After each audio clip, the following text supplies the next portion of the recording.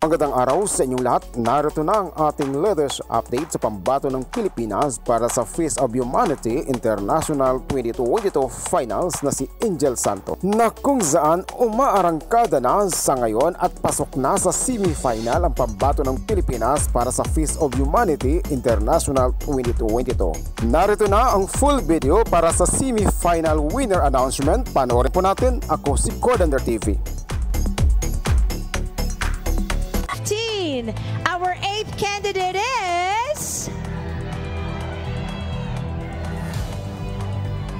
What did you say down there? Philippines!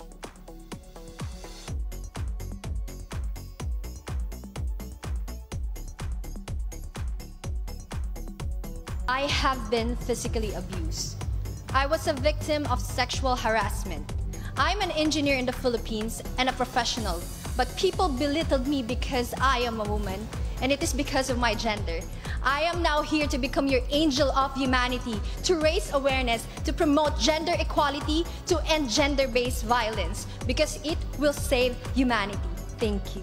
1,107 beautiful islands, rich biodiversity, hardworking and resilient people. Ang perlas ng silanganan, we are!